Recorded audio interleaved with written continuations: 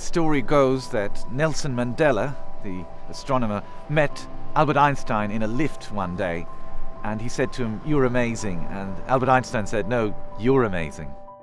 My name is Benicio Sandz. I'm a motivational speaker, part time philosopher, full time human. My job is to change the way people think. I guess a lot of my job is to inspire people to change their lives. I do some quotes. I walk by the beach. I sit on a rock. Life.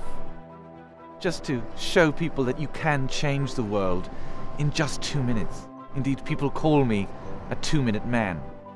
Bill Gates is said to have owned the world's first computer. Let me ask you a question. Two minutes to clean a beach. It's not so much to ask. That's two minutes.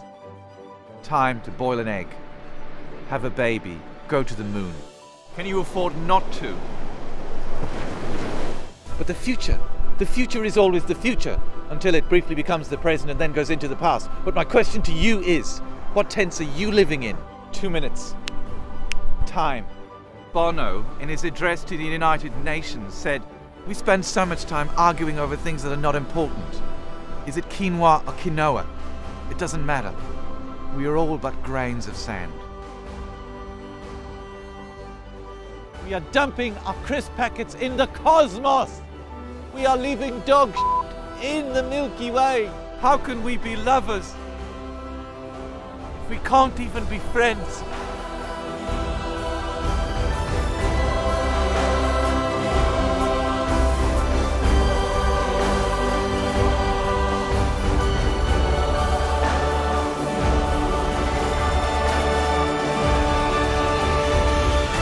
Mother Nature is saying, What?